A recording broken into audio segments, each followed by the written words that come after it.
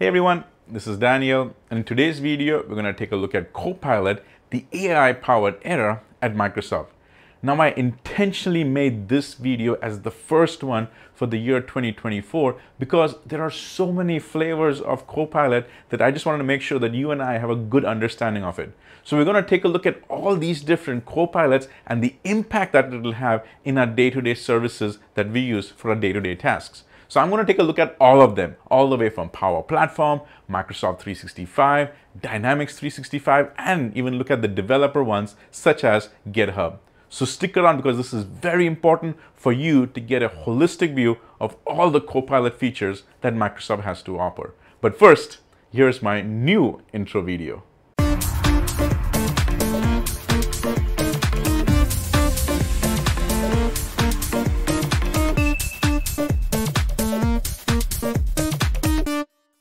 So let's get started. Now, when it comes to Copilot, I'm pretty sure you've at least seen or heard about either one of these. But the key thing that I want you to understand about Copilot is, is it in or is it for? Because there are different versions of these Copilots. So for example, when you hear about Copilot in, such as in Windows 11 or in SharePoint, well, that's one type of Copilot.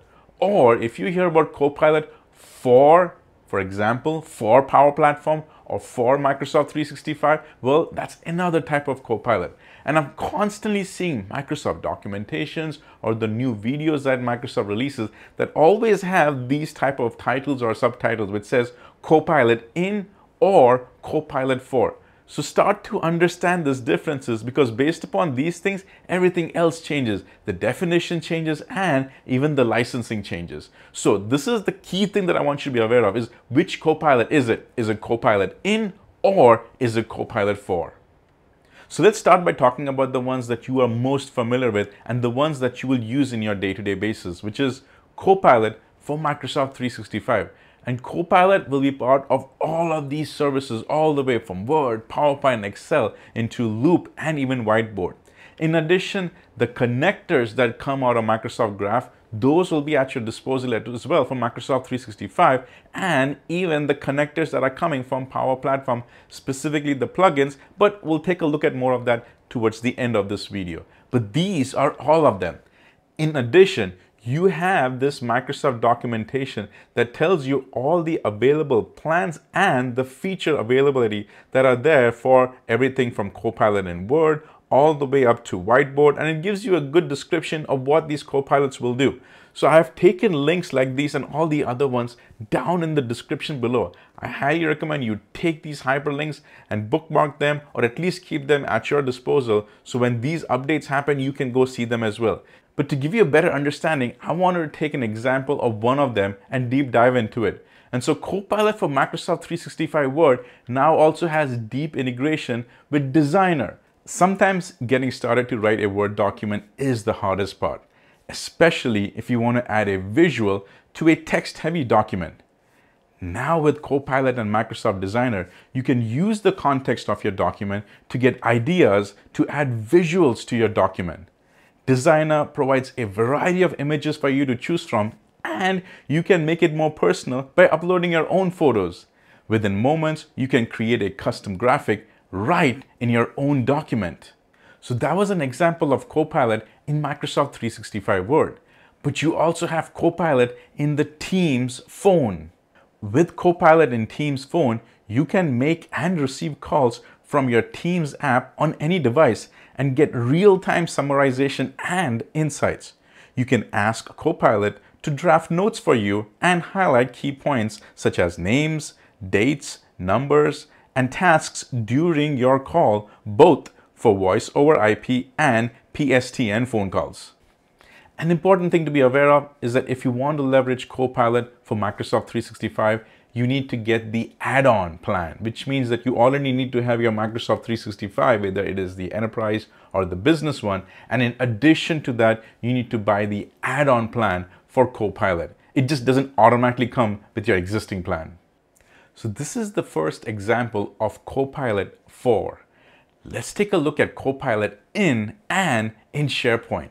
Now, Copilot in SharePoint opens up a whole bunch of options to help you really design some nice pages. So for example, you can go ahead and ask Copilot to go ahead and create a design of a page using an existing Word document that you already might have. Copilot will go and convert that Word document and take all of its content and automatically put it into a page. In addition, if you do not like anything about the text or it just doesn't fit really well, you can use Copilot to go ahead and generate and rewrite that text. It'll give you some suggestions right off the bat and you can even regenerate it. And if you like what it is, go ahead and keep it. In addition, you can do section level designing using Copilot. So you can actually add more visuals directly to that section. And if the visual is appealing, directly go ahead and keep it. And all of this is happening using a few clicks. You don't have to do any setting changes by yourself, thanks to Copilot in SharePoint. So these are all the new features coming in Copilot for Microsoft 365. What I want to do is switch gears and look at Copilot for Power Platform. Now, when it comes to Power Platform, Copilot is introduced in Power Apps, Power Automate, Power Pages, Power BI, known as Microsoft Fabric. But what about Microsoft Virtual Agents? Well, there's a change happening to Microsoft Virtual Agents, also known as PVA. PVA is getting transitioned now to Microsoft Copilot Studio. But you need to understand what this transition really means. So if you go back to the previous slide, you can see that Power Virtual Agents was part of the Power Platform family. However, its transition to Copilot Studio now detaches from the Power Platform family and makes it a Microsoft Copilot Studio. That is the big difference that you need to be aware of. So here is what the Copilot Studio looks like. And yes, the look and feel is very similar to Power Virtual Agents, but actually does help because that way the adoption of Copilot Studio is a lot more easier. But you do notice some important things. So on the left vertical navigation, you no longer see chatbots, you see copilots. And the good thing is when you click over here, you haven't lost any of your existing chatbots because here's an example of my real tenant. This was my Power Virtual Agents. This was my chatbot. But what used to be called as chatbots are now copilots. But in addition, you can now create plugins because that is what will help you build your custom Copilot for any of the gaps that you might find in your company. This Copilot Studio is where you make your custom Copilot as plugins and plug it in to the other services in Microsoft 365. Now I want to transition away from Power Platform and the Microsoft Copilot Studio over to GitHub. Now there's two different flavors of Copilot that is available for GitHub. There is the Copilot for an individual and there is the Copilot for business. And both of them have their own different licensing, there's own different subscription services. But the important thing to know of is what are the features available in the two different flavors of GitHub. And I've presented that in this slide. You can also take a look at the details in that link which are provided in the description below. But let's take a look at how Copilot really works for GitHub. Copilot lets you handle tasks and problems such as extracting new code and connecting with APIs, regular expressions, and even working with unfamiliar programming language. Copilot helps you stay focused by quickly providing a variety of suggestions. So this was just a quick overview of the exciting new things Copilot for GitHub has to offer. But let's transition over to Copilot for Dynamics 365. And over here, there are two different Copilots. One is the Copilot for Sales, and that is an add-on, which means in addition to your existing Dynamics 365 Sales, you will have to buy the Copilot add-on. Now, Copilot for Sales comes directly in the integration with Microsoft Teams as well. So for example, over here you have a sales copilot and you can have a discussion with your copilot to get information about your Dynamics 365 specifically for that sales application. The same thing is also available for Copilot for Services. Copilot in Dynamics 365 Customer Service empowers the agent to deliver exceptional customer care. And it is also making it easier for customer service departments to build virtual agents in minutes. These virtual agents are built in Microsoft 365 Copilot Studio, which we just saw, which harnesses the power of Azure OpenAI Service and Bing to provide answers for company websites. Now I do want to circle back to Copilot and Microsoft 365, but focusing specifically in Microsoft Viva. And the Viva services where Copilot is available is in Viva Goals, Viva Engage, Viva Learning, and Viva Glint. Copilot in Microsoft Viva Goals simplifies goal setting by guiding leaders through the process of creating objectives and key results, also known as OKRs, as well as simplifying goal management across the organization. Copilot can suggest draft OKR recommendations based on existing Word documents such as an annual business plan or a product strategy on paper. In Viva Engage, Copilot helps leaders create compelling and inspiring posts from simple prompts or trending topics within workplace communities and storyline conversations. In addition, you also have Microsoft Copilot dashboard that runs on Viva Insights and it gives you in-depth overview of how Copilot is being used across your entire Microsoft 365 platform. So you can actually see the total Copilot users in your company and even drill down to how Copilot is transforming work in your company at the Word or at Outlook or in Teams. In addition, you can go and see how your licenses are being used across the entire Microsoft 365, across your entire tenant for all the users in your company.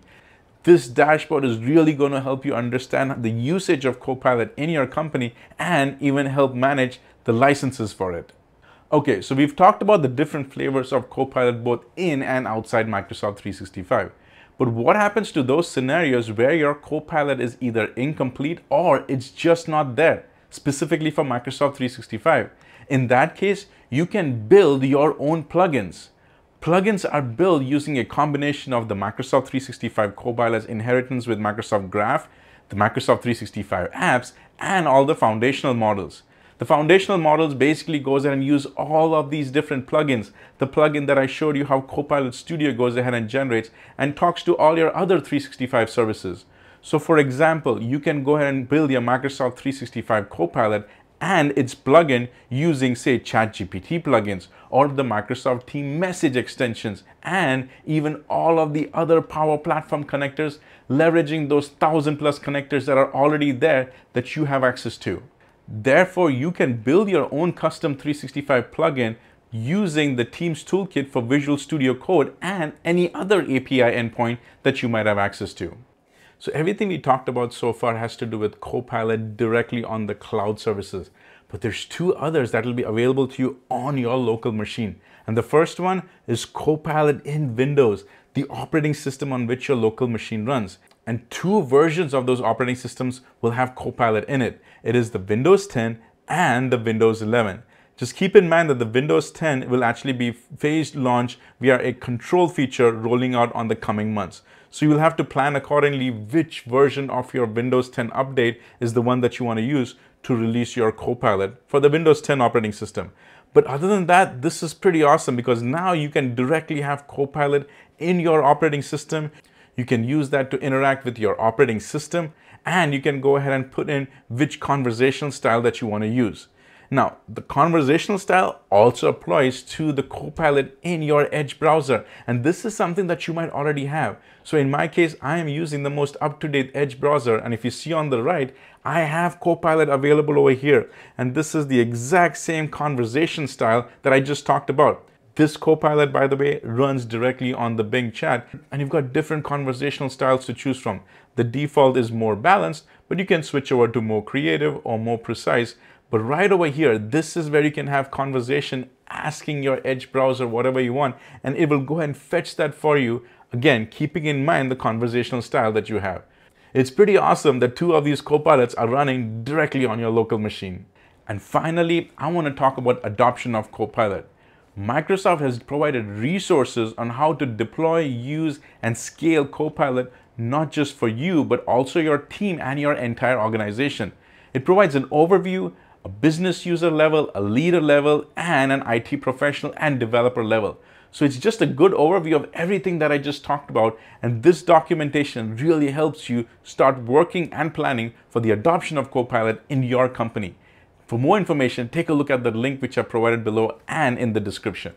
So we just did a good overview of all the Microsoft Copilot features that are currently available. So let's do a recap. First thing is the different types of Copilot. There is the Copilot in, for example, in Windows or in SharePoint, and the other one is Copilot for.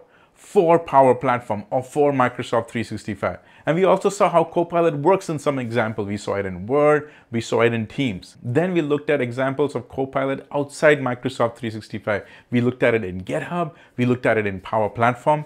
In Power Platform, we confirmed that Power Virtual Agents is no longer there it is now going to be the new Copilot Studio, which means it is no longer part of the Power Platform family. It is now outside the Power Platform. It is now the Microsoft Copilot Studio. And we also looked at the ones which are on your local machine, the Windows 11 Copilot, the Edge browser Copilot. And in the end, we looked at the Microsoft documentation of the adoption process for Copilot. So hopefully this video gives you a good overview of all the Copilot features that are currently available and you can start playing and testing with any of those that you already have access to so that these Copilot features can either help make your job a little easier or even automate some of those mundane tasks. And so that way you can focus on those really critical important tasks that need your human touch. Hello, hello, hello. So if you like this video, go ahead and click on that subscribe button and smash that like button. Also, if you have a few extra seconds, can you go and put in a comment? Either say something nice or give me ideas for my next video. And until then, see ya.